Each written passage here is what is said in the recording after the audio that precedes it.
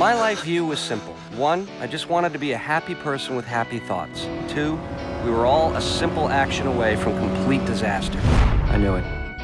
I've somehow gone crazy. Dysphoric is when you just don't feel right in your own skin. I was now living in some kind of horrific, perpetual dream state. Are you okay?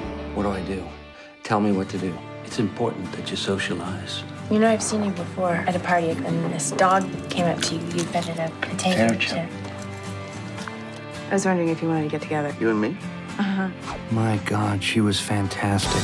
Let's go there. I couldn't hide my condition from her forever. If I had any real chance with Sarah, I had to speed up my recovery.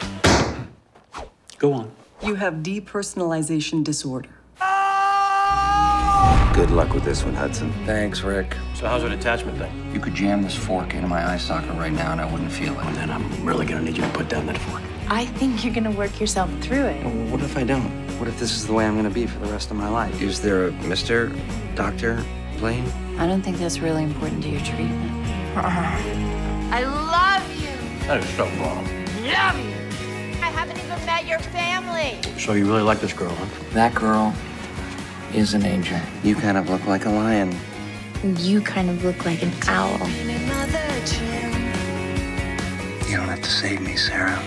But I am gonna love you for the rest of my life, so things will be a lot better for me if you are around. Thinking about you